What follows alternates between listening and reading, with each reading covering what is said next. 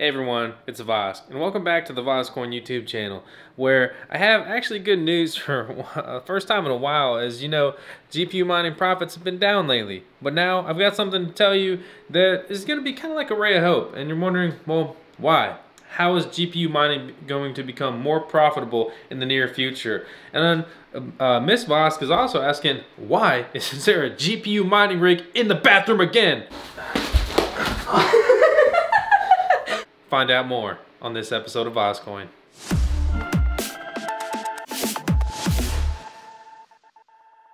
Hey everyone, welcome back. Today's video is a bit of a follow-up on my recent video, ASIC Miners Destroy GPU Mining, which had a pretty mixed response, which I'll get to at the uh, end, towards the end of the video, but let's talk about it. So, GPU mining has very good news, basically, and I'm going to explain exactly what that is and why.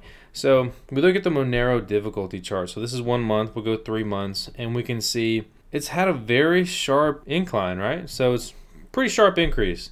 The price has been, you know, relatively stagnant. There was especially a big jump here when prices went down. And across the board, all GPU mining difficulty is going up. So if you're not familiar, difficulty basically means it's harder to get that coin. There's more people vying for it. Everybody wants a piece of the pie, which means there's more mouths to feed. This would be the network hash rate. Again, we got one month, we got three months. And you can see, obviously this is going to correspond with the difficulty, but the, the hash rate's high. So it's on Twitter and I was kind of doing my normal thing, just being really nice. I was talking about how great ASICs are. I mean, look, Innominer, they put out one of the best ASIC miners ever. They charge people $10,000, and a lot of them caught on fire. I mean, dude, wouldn't you pay $10,000 to have a piece of machine that catches on fire in your house, potentially risking everything in your life that you ever worked for, including your friends, family, and anything else? I mean, yeah, yes, send me an A5 Inno, please.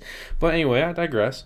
Um, so I tweeted him, and surprisingly, you know, I'm just a little dude on Twitter. He tweeted me back, and he said it's already set for 13 days time. Okay, so we look at the time stamp. This is March 15, 11:32 a.m.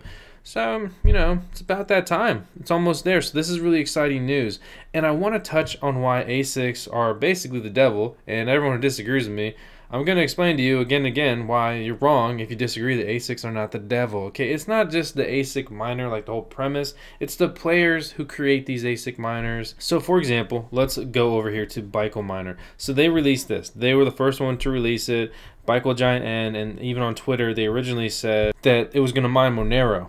Okay, so this is like 10 Vegas. So that's a pretty big deal. At 60 watts, insane, right? You're like, oh wow, what a breakthrough in mining. No, you don't want breakthroughs in mining when they're from companies like this. They control the power. And guess what? They've been mining with this for at least a couple months. Let's not be naive here because they released this, and uh, no surprise, Bitmain releases their Cryptonight miner that does you know this is 220 kilohash they i think they have a different model too and originally the price tag was put at ten thousand dollars ten thousand, or it, it, might have been even more, like twelve k, which is insane. And you just think that, oh, they, oh man, oh you had one too. I guess so we should release ours. I mean, come on, man, open your eyes, open your eyes. ASICs are bad news. Oh, whoa, whoa, oh my God, another one, another one. Uh, how long mining? Halong till we ever see a real one of these? come on, that's funny, right? Maybe, maybe not. I didn't plan that. Okay, I don't script my videos, so that's why they kind of they're not the best sometimes. But let's look at it. So we got this Dragonmint X1, 124 kilohash a second. It's delivered in April, $1,600. First, you're like, Wow, what a money making machine. No, that's not how ASICs work.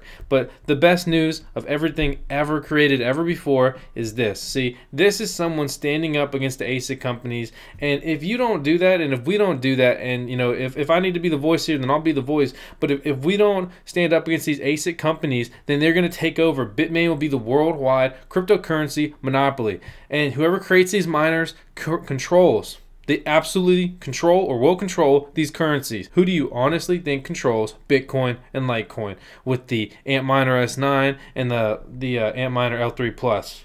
I mean, come on, think about it. Who's who's got the most here? Who accepted those currencies for that? Then there's the creation of Bitcoin Cash, which is that that is like a whole series in itself. But my point of this video is I want to basically have a breath of fresh air, a, a ray of hope for us GPU miners because you know, it's been it's been tough lately. A lot of coins have dropped in price. Uh, I know Zencash plummeted, which obviously hurt me. Um, a lot of people have been asking me, yeah, I'm still mining Zencash. It's a great time to mine it now. It's lower, so I'm getting a little bit more Zen. I'm hoping it rebounds. If not, I'm totally screwed. But again, you know, you got to place your bets wherever you want to. You could mine the almighty boring Zcash if you want, but um, yeah. So we come over here in my crypto buddy. It's kind of like what to mine with less uh, features, but it's a uh, it's a nice layout. It's a little cleaner. Doesn't stress me out as much. But uh, so you know, I put the 20 kilohash, which would be the first Cryptonight miner that was published, which would be the Baikal version, and you can see. I mean, looks like a decent buy. You know, 100 bucks a week. It's not bad, especially in this market. But yeah, but this isn't going to happen because Monero. If we look at this uh, hash rate, so they've got about 900 megahash, gigahash of the hash rate. Okay, so when they fork off, they are the vast majority. They are over 70% of the hash rate on Cryptonight. So these miners will lose 70% of their profitability. But just wait, I assure you that some freaking coin like, you know, Monero super private is going to come out and, and it's going to stay this Cryptonight network. Watch, you'll see. It'll be something ridiculous like that. And they already have that other fork that's taking place. Anyway, list goes on. But the point of this is is that this is going to drive Vega prices up okay vega prices are going to go up because they're going to be more profitable. I, and, and also a lot of the rx cards are going to go back to mining Cryptonight so they're going to come off of equihash which is like zcash and zencash and move away from ethereum like ethereum ethereum classic and they're going to back to the Cryptonight network mining monero. And the other coins probably follow suit and uh, it's going to be pretty obvious. The only big one that's a question mark will be electroneum they've got a pretty good good chunk of hash rate like 300 mega hash. So other than that, they're the only significant coin as far as hash rate goes on the Cryptonight network. So if Cryptonight loses Monero and Electroneum, these things are going to be absolutely worthless. So anyway, place your bets wherever you want, but you can support these companies if you want to. On the topic of this, and I think this warrants a video in itself, but you know, I got a comment like this on uh, that Cryptonight video, had this response, and, and you can see there's a clear divide in the community. And I mean, I'm very strong to one side, and if you believe in something, I mean, you've got your reasons all to it. And when I hate, you know, hate on ASIC mining, I'm not hating on the actual ASIC miner. Like, you know, I don't hate you, man. If you've got an Antminer S9, I have had an S9 and L3 Plus. Originally, I didn't totally hate them until I started thinking about it and looking at the bigger picture. And you can see, you know, it's a very heated community. It's like gamers versus miners. Like, oh, you guys all hate us. Like, I mean, I don't know what else to tell you, man. If you can't see the bigger picture of cryptocurrency, uh, it might be time to log off the game and do a little research. But that's my opinion. I'm not trying to be mean. I'm a gamer. I've got 3,000 hours in Dota 2 just in the last several years. I mean, that's time I'll never get back. All right. I'm a gamer through and through my whole life. So don't think I'm not. And it's weird how most miners are also gamers. So anyway, I don't want to drag this video on and on. There's a lot of pieces I could take off this video and really create videos, you know, in their own right. But you can see there's a very divided community here. I am strong on one side and I truly believe that. And I'm very excited to see the mining probability. It'll have to go up. These ASICs, they are here. I would imagine all their stock is basically here in mining. And regardless, it, it can't get any worse. Okay, the, the hash rate will absolutely go down, or the difficulty, it's the same thing really. And uh, it's absolutely going to go down, and that's exciting.